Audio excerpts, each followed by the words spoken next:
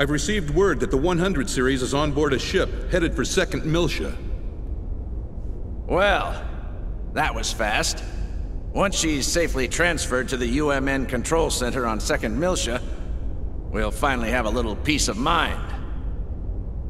It's all such a bother, though. It would have been so much easier to perform the analysis here.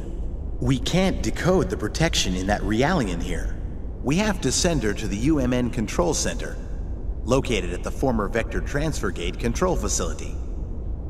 That's right. Besides, the entire area within a few dozen light years of Old Miltia has been sealed off ever since that incident 14 years ago. So this certainly beats traveling through regular space. Joachim Mizrahi. You really outdid yourself this time.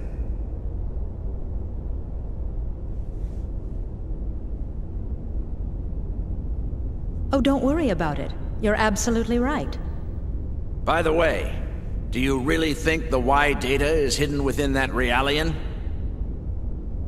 We have conclusive evidence that she holds the code to unlock the UMN transfer gate leading to the sealed-off sector. Aside from that, she's pretty much a mystery. We'll just have to open her up and see. If she doesn't have it, we'll be required to delay the Zohar project. How will we explain that to the Council? Even if it's lost, we still have one other lead. Let me pull up my documents.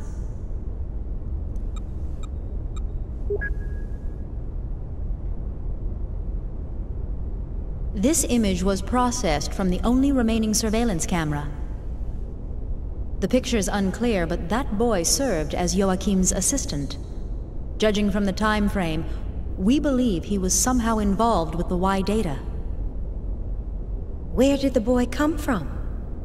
The records are missing. The only information we have is that he was 14 and studying at the University of Bormio. But even that's just second-hand information from Mizrahi. He got into Bormio at 14? Must have been pretty smart. You don't know what happened to him? Correct. It's currently under investigation. If he's alive, he'd be 28 years old now. This research paper is on the secondary effects of the Hilbert wave. The Hilbert effect? Do you think there's a chance he slipped into Vector? Back when UTIC was still the Mizrahi Cerebral Sciences Research Center, Mizrahi's main patron was none other than Vector. It's certainly a possibility. There's no concrete evidence, of course. Dr. Mizrahi, please continue your investigation of this issue. Yes, of course. In any case, our first priority is to get access to the old Miltia sector. Our hands are tied until we recover the original Zohar located there.